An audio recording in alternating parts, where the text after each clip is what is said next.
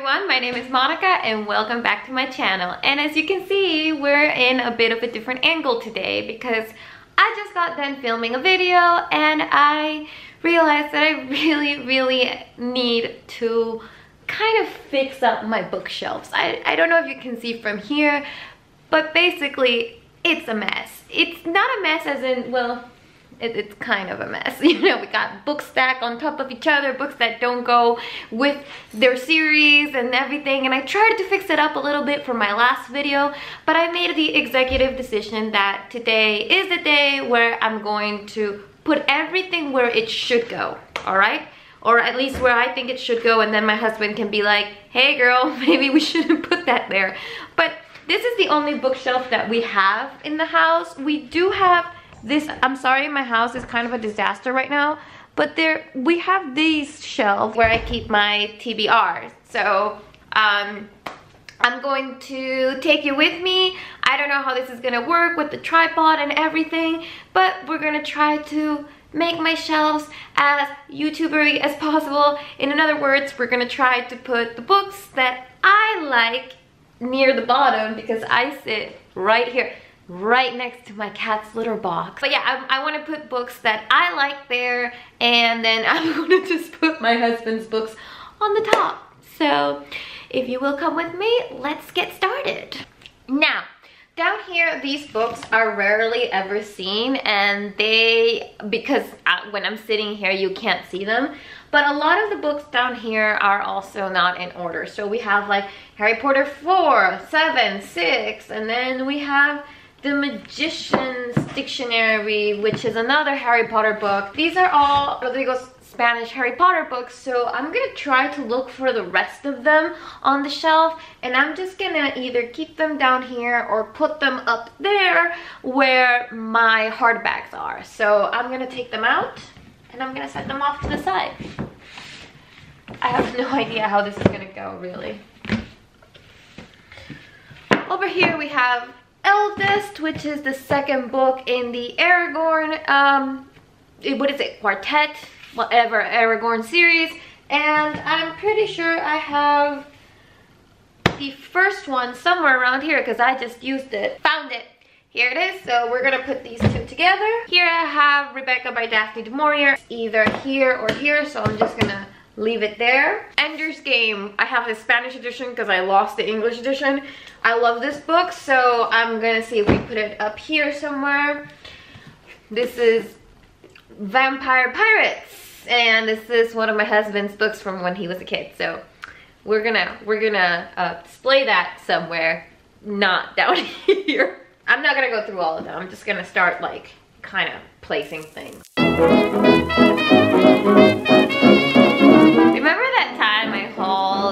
Picture of Dorian Gray by Oscar Wilde? I have another edition of it that I bought secondhand and I totally forgot. So now I've got two versions of it. So I'm gonna keep them both, mostly because I, I have, yeah, you know, I bought secondhand somewhere. It was probably like 50, 50 cents. So I'm gonna just keep these two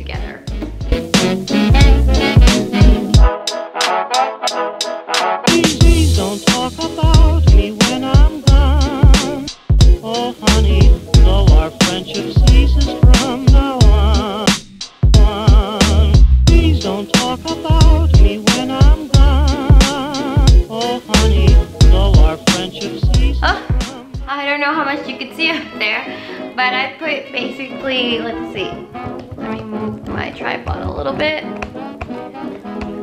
Up there, I put all of the um, Eragon series, and then next to it is Memorias de Idhún, which is like the Harry Potter of Spain. And then I put actual Harry Potter, and now I have some space there. So the top two shelves have become my husband's shelves, which, you know, I think he'll be happy about. I have a class in about an hour. So we need to get this at least somewhat sorted.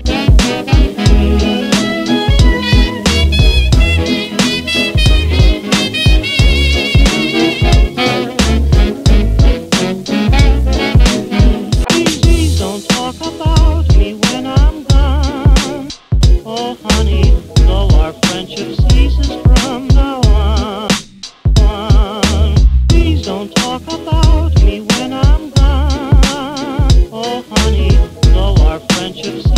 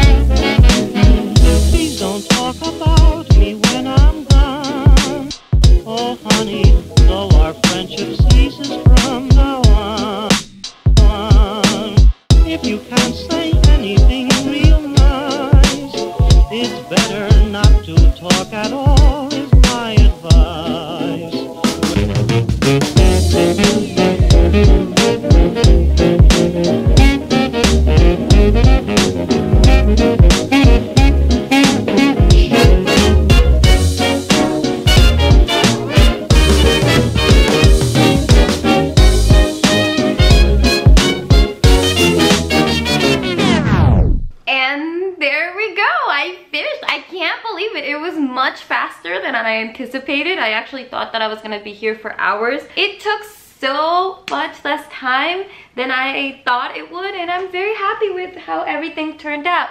Of course, I still have the TBR shelf, which once I read those books, they will come here. So we'll see how that all works out. But for now, I'm very happy with the result. And I think my husband's gonna be really happy because all of his books are together, his collections are together, and that makes me very happy. And I also found some books that I think that I'm gonna add to that donate pile from before, from my on haul video, which I'll link up here in the cards and down below, like always. Now, you had already seen this. This is Morir no es lo que más duele de Inés Plana, and I actually put this back on my shelf when really what I was supposed to do is give it back to the person that let me borrow it, but I haven't seen them because, you know, we're all in social isolation. So I'm just gonna put this with the other books that I'm gonna donate.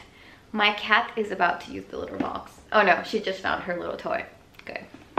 And then I found this Las Estrellas Mi Destino by Alfred Bester, which I actually think is translated from English. If I find the title, I'll just put it over this face. And I tried reading this book because I really was feeling like a sci-fi book. In fact, look at that. Have a bookmark in here. All right, sorry things look a little different. I was just playing around with the angles so that you can see the books. But as I was saying before, my cat decided to use the litter box like she always does when I'm filming. I even had a bookmark in here, but I found this book to be both boring and supremely sexist. So I'm just gonna donate this and maybe somebody out there will enjoy it. I'm pretty sure somebody has, but that person isn't me. Then I have two books actually from a book club I was a part of before, like an IRL book club in Spanish, and that is Canción de Sangre y Oro by Jorge Molist.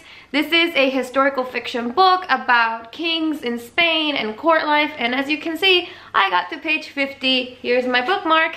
And then I tried to get to page 150 but it didn't work but I know that my sister loves these kinds of books so I'm just gonna gift it to her and see if she likes it the other one I have here is by Jose Carlos Somoza and it's El Origen del Mar and it's a Civil War story because Spanish love writing about the Civil War.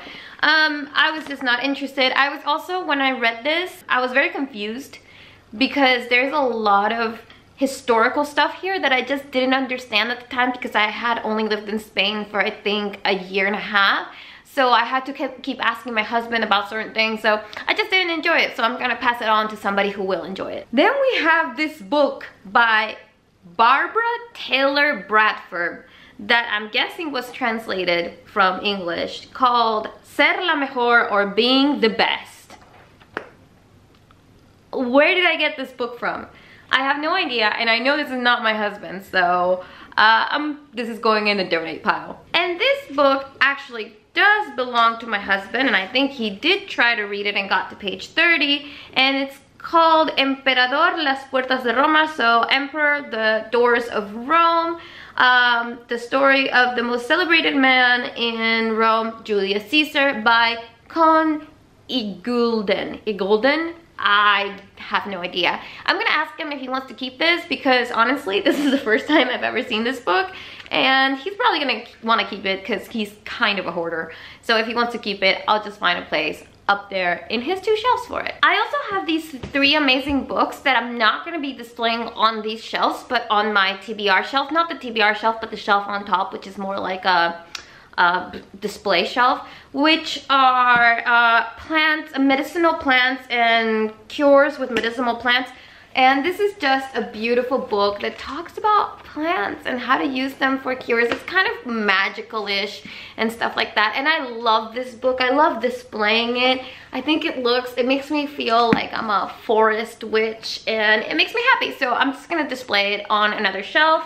And along the same lines, we have El Bosque Profundo de Sofia Rey, which is like, this, this woman made a sort of tarot deck based on like strange fairy tales that she created. So these are basically tarot deck, a, a tarot deck based storybook and it's amazing inside. The illustrations are beautiful and I want to display it. I just don't want to keep it there like kind of hidden. So that's going over there.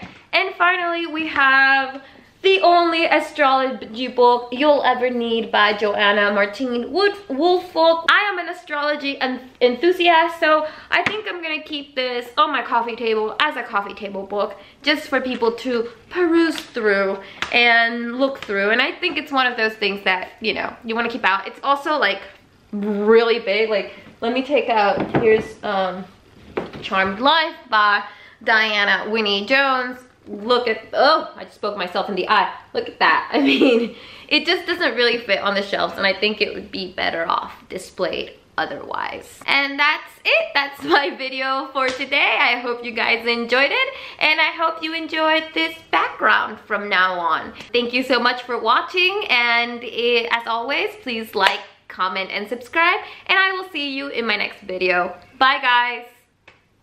I have to stay like this for a bit because if not, you know. I'm now I have to do a thumbnail. There you go.